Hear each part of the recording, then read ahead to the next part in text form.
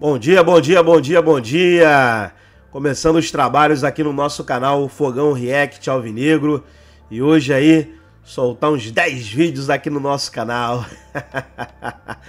Você que ainda não é inscrito, se inscreva, ativa o sininho das notificações para você não perder nada. Você que é botafoguense raiz, você não pode ficar de fora, pessoal. Pô, a única coisa que eu peço é só se inscrever no canal, deixa o like no vídeo e ativa o sininho das notificações. É a única coisa que eu peço aqui no nosso canal. E hoje vai ser só Botafogo. Começando aí o primeiro vídeo de hoje, trazendo aí o debate da ESPN.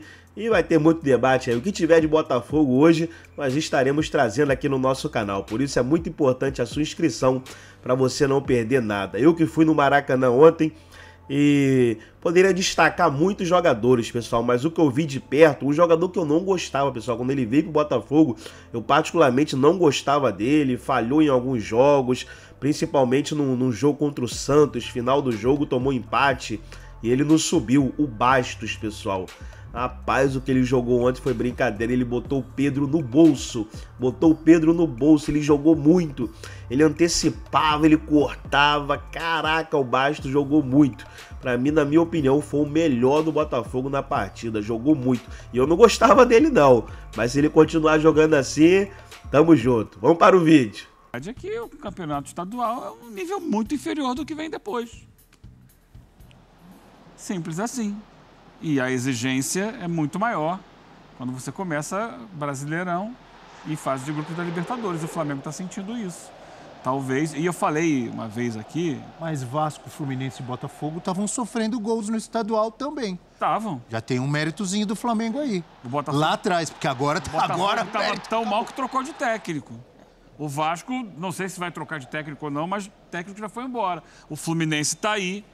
A galera tá pedindo a cabeça do Diniz. Então, entendeu? É, o Flamengo estava um pouco melhor, mas contra adversários do nível muito fraco, muito baixo. No, no- no dia da. O primeiro jogo da final do, do Carioca, o Flamengo ganhou de 3 a 0 do, do Nova Iguaçu. E aí o pessoal, ah, 3 a 0 que maravilha. Eu falei, olha, o Nova Iguaçu não é um time que tenha testado o Flamengo de forma suficiente para o que vem por aí, a começar pela estreia da Libertadores, que seria naquela semana contra o Milionários. E ali o Flamengo já não jogou bem, já empatou fora de casa e depois tem tido dificuldades nos seus jogos, como teve dificuldade ontem de novo contra o Botafogo e acabou perdendo. O que aconteceu ontem, Eugênio? É, a defesa do Bo- o Botafogo ontem. é, primeiro, é, o Flamengo se impôs no controle da posse de bola, desde o primeiro tempo. Entendendo isso, o Botafogo que fez? Baixou a sua marcação, bloqueou os espaços perto da área e dificultou ao máximo que o Flamengo criasse jogadas de gol. Por outro lado, quando ele, Botafogo, saía, ele tinha clarevidência, ele tinha pensamento, ele tinha ideias de como encontrar espaços na defesa do Flamengo. Tem muita qualidade o Botafogo também, né? Tem. E olha o posicionamento defensivo do Flamengo. Tá todo mundo buscando o espaço da bola e o espaço vazio aqui pelo lado esquerdo. É que esse lance aí é um lance, Houve falta? para mim não houve falta, mas que normalmente o, o, o- o árbitro do Brasil dá falta. É, é- é um, um problema antigo do, do futebol brasileiro. Crônico. O atacante encosta no zagueiro, é falta, para a jogada imediatamente. Quando o árbitro não marca, fica todo mundo, é, mas não deu a falta. É, é que quase sempre se marca. Até eu conversava com a Natália mais cedo, aí ela falou: ah, mas alguns árbitros aí que são internacionais pararam de dar. É o cara que faz Libertadores, né? Libertadores isso não é falta. No brasileiro é. E o Klaus. Costumeiramente, O Klaus é é, FIFA, é Libertadores, é Copa do Então, Mundo. Ele, ele vê o contato e fala. Tem o áudio até já, né? E ele tá muito próximo Nada, do foi lance. embora, segue o jogo. Só que aqui no Brasil é aquela história. A cultura do futebol brasileiro entende isso como, como falta. E aí, eu acho que está errado, eu acho que não é falta. Só que quando você não dá uma coisa que todo mundo dá, você gera um desequilíbrio. O cara fica esperando que você dê a falta. Tanto que o Flamengo para no lance. Então não pode parar contando com isso. Né? O Flamengo para. E aí, no que para, toma o segundo gol. Mas, assim, é um segundo gol que ratifica a vitória do Botafogo, que já estava desenhada, porque estava óbvio que o Flamengo não tinha como encontrar o- a, a finalização. Teve, a melhor finalização foi a primeira do jogo, que foi do, do, do Luiz Araújo, numa bola que ele levantada na área, uma jogada de La Cruz, Arrascaeta, Pedro o Luiz Araújo chuta a bola, passa perto. Depois daquilo, É, o no momento não que o jogo não estava muito definido ainda, o John não trabalha. É uma defesa que, se, que supera o, o ataque do Flamengo. Muito E mérito do vai Botafogo, pro né? ataque, ele teve as, as armas contra o Flamengo, que aí estava um pouco mais aberto, porque estava tentando atacar, e, e permitiu o Botafogo ganhar. Assim, é, é saber, é o jogo. Se aquela bola do Luiz Araújo entra no primeiro minuto, no- ou nos primeiros minutos, talvez a- a- o caminho da partida fosse outro. Mas da forma como caminhou, muito mérito para o Botafogo de saber se defender. E aí vou destacar um jogador na defesa do Botafogo, pouquíssimo falado, mas que para mim fez uma grande atuação ontem, que é o Bastos, o zagueiro que ganhou a posição. Mandou o Barbosa para o banco de reservas. Barbosa ontem entrando no segundo tempo. Muito firme, muito sério, tempo de bola, chegando junto, fazendo o trabalho de zagueiro. Zagueiro, zagueiro ali atrás. E foi, colaborou muito para a vitória do Botafogo. E aquele gol do Luiz Henrique é um negócio fora do comum. Que é jogada ensaiada, mas não é só ensaiada, como ele falou, no ensaio não deu certo. Mas no dia do espetáculo deu. É o que vale. Insistir no eu ensaio, mesmo que não dê certo. Agora, o Botafogo foi mais perigoso que o Flamengo. Porque, porque o Flamengo ter posse de bola, isso estava nos planos do Botafogo. O Botafogo não foi surpreendido por isso. O Botafogo sabia que o Flamengo ia tentar propor o jogo. O Botafogo foi muito eficiente em- bloquear e o Botafogo esteve muito mais próximo de fazer 3 a 0 num lance a mais que teve do que propriamente o Flamengo de, né? de ganhar esse jogo, de, de sair na frente. Tudo bem, o Flamengo tem ali um gol impedido do, do Bruno Henrique, tem aquela jogada com o Luiz Araújo no primeiro tempo, mas é muito pouco. O Tite falou em dar um passo atrás, eu estou mais preocupado em passo à frente. Eu acho que esse time perdeu aquela mágica de se pagar na frente. Toda vez que a gente falava do equilíbrio, falava do equilíbrio porque o Tite trouxe essa coisa defensiva para um time que se pagava na frente. Está deixando de se pagar na frente. Mesmo os gols perdidos, era um time que perdia muito gol, inclusive no Carioca. Até isso está sumindo. Esse domínio do Flamengo no, no primeiro tempo foi o que os antigos locutores chamavam de domínio estéreo. Se o goleiro adversário não aparece, de que vale tudo isso? O Botafogo ganha esse jogo na dele, como ele pode ganhar. Você falou que o Botafogo tem muito talento. Os talentos que o Botafogo tem são justamente para fazer esse jogo aí. Gente pelo lado, gente criativa. Foi como o Botafogo a cresceu na temporada passada, né? O Botafogo isso. muitas vezes quando tinha que propor jogo tinha uma certa dificuldade, quando tinha que atacar ali com intensidade o corredor, fazia melhor. Me chamou a atenção um lance específico na, Esse lance aí. é, o- o- a- são 15 finalizações, né? Porque a do, do Bruno Henrique não entra na contabilidade. A única que foi no gol foi a do Bruno Henrique, que foi, cancela, foi anulado o gol. Mas me chama a atenção, em um dado momento do jogo, o Bruno Henrique, ele pega a bola na intermediária de ataque. E ao invés dele atacar o espaço, como normalmente faz, até porque o Botafogo estava saindo, ele para e volta a bola para o campo de defesa. Isso irrita muito. Em outros tempos de é Botafogo, coisa de, de? Flamengo, é, e assim, eu entendo que tem um processo será? dele voltando de característica do seu treinador. Eu entendo que tem um processo dele de retorno de lesões graves, ele já não é o mesmo Bruno Henrique de anos Ah, atrás. já faz tempo, né, que ele voltou da Mas lesão. ele é um cara que normalmente ele vai pegar essa bola e com espaço para correr, ele vai atacar o espaço em velocidade. E aí o que vem do banco? Isso, pensa o jogo. Então assim, você desacelera muito o jogo. O, o Flamengo, ele tem jogadores na frente, é, o Pedro, que se o Bruno Henrique atacasse o espaço por ali, o Pedro estava correndo pelo meio. Seria uma opção. Isso tem me chamado a atenção no Flamengo. Tem sido um time muito mais de toque, dependendo dos passes do De La Cruz ou de um chute de média e longa distância de algum jogador, do que propriamente aquele time que tinha a intensidade que tinha, que tinha velocidade pelos lados. Luiz, Ala- Luiz Araújo até dá isso um pouco pelo lado direito, mas perdeu muito com a falta do Cebolinha pelo lado esquerdo. São características, ideias pavimentadas pelo treinador. Errado ou certo? Se der resultado no final da temporada, é sinal que, ok, valeu a pena. Mas eu senti falta disso. Me chamou muita atenção esse lance específico. O Bruno Henrique parando e voltar, ao invés de acelerar o jogo, ele para e volta a bola para o campo. Isso, isso irrita muito o torcedor, porque você vê a chance de um contra-ataque, de jogar a bola na frente. É aquilo que a gente falava do Wesley do Corinthians agora há pouco. Se é o Wesley, ele, ele- ele- talvez por ser jovem e tal, assim, ele, ele vai arriscar a jogada.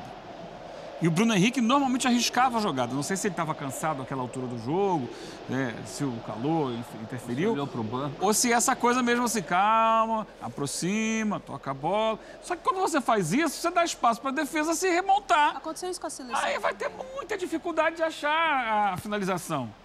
né, com, uma defesa trancada. Se você consegue ganhar num contra um, jogar a bola na frente, você tem um caminho para chegar no gol.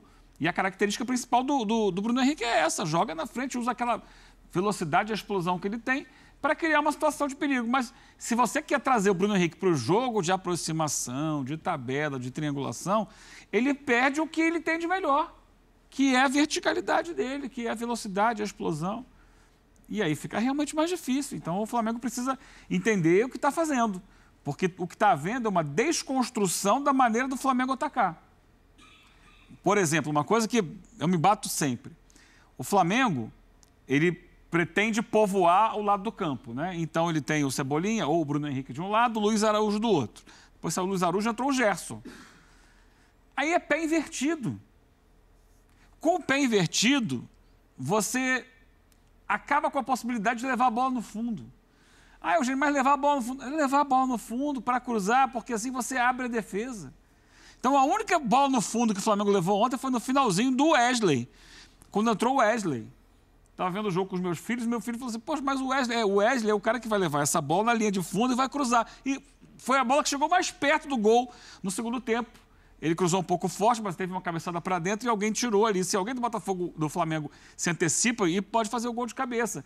O Flamengo do Tite, isso aí- raras vezes vai ao lado do campo para cruzar. Quando você vai ao lado do campo, se abre um infinito leque de possibilidades. Não. Quando chega na intermediária entrada da área, traz para o meio, afunila e favorece a marcação. o pé invertido que você falou é uma. Eu ia falar moda. Moda parece mais pejorativo, mas enfim.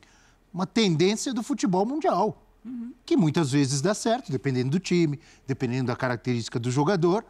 E outras vezes não, não é o ideal. Tem que ter as Você duas pode opções. colocar um cara destro do lado direito jogando na ponta, ou um canhoto do lado esquerdo. É, e aí eu tem- sempre cito O que que a final da Copa do Mundo. O Di Maria já funcionou várias vezes jogando pelo lado direito, é canhoto, sim. Na final da Copa do Mundo ele jogou do lado esquerdo, acabou com a França no primeiro O que, que tempo. acontecia com Rony e Dudu quando os dois jogavam abertos? Em Eles trocavam, às vezes. Eles trocavam o tempo Claro. Claro. Eu acho que isso faz parte.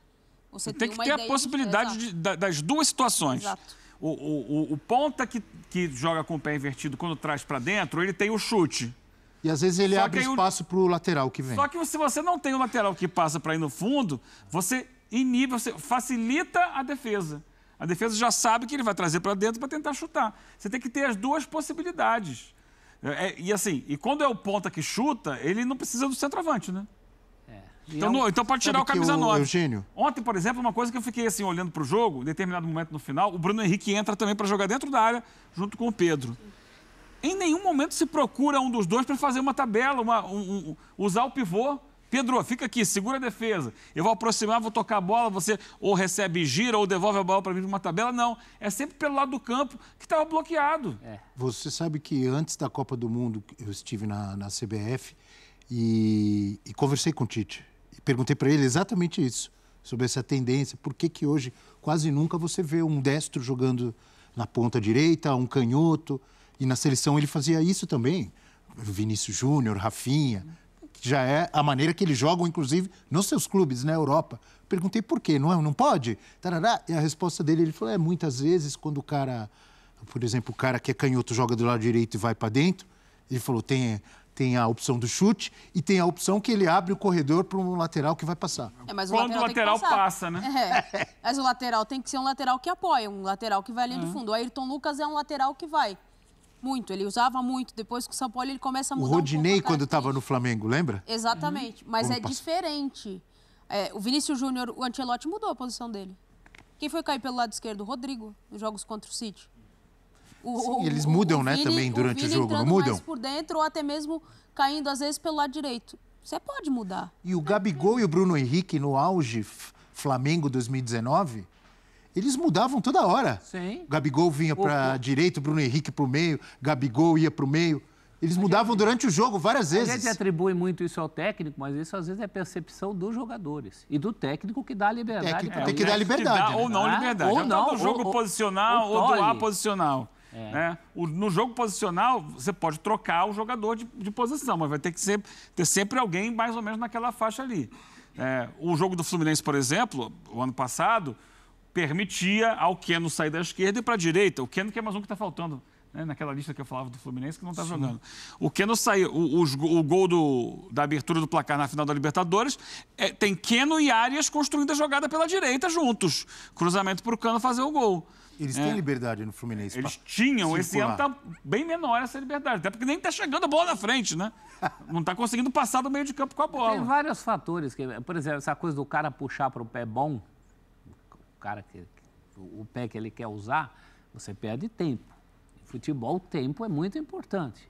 Ah, agora, você tem casos como o Júnior, que foi um dos maiores laterais esquerdos, destro. É o que eu falei, depende do time, Que depende, virou meio qualidade do campista. cara. depende do Que jogador. virou meio Que campista. virou. Se você tem o Robin no auge no seu Então. time, é maravilhoso. Aquele Então. canhoto pelo lado direito. que Todo mundo sabe que ele vai colocar certo. dentro e chutar. E ninguém consegue tirar a bola não- dele, ele vai lá e faz o gol. Mas não dá certo só porque ele é um canhoto pelo outro lado. Ele joga porque muito. ele é o Robin. É, porque ele joga muito. Dá- É, eu sou do, de uma época, eu cresci vendo destro na ponta direita, canhoto na ponta esquerda e grandes jogadores. Grandes jogadores, dri- dribladores que levavam Renato pro fundo. O Renato era um absurdo. Jogava de João ponta. Paulo, que jogou no Santos. no Às vezes o. Renato até ia para a esquerda, mas naturalmente jogava pela direita. Preferencialmente jogava pela direita. Ah, Zé Sérgio, professor, lembra do Zé Sérgio? É, José Sérgio, o que ele fazia na ponta O que, esquerda. o que, o que me, me chama atenção. Então tá aí, pessoal. Foi o primeiro debate de hoje da ESPN Brasil. Todos os créditos, direitos autorais e agradecimentos. Estarei deixando o, o link na descrição desse vídeo. E hoje vai ter muitos vídeos do Botafogo aqui no canal. Por isso, se inscreva aí para você não perder nada. Forte abraço a todos.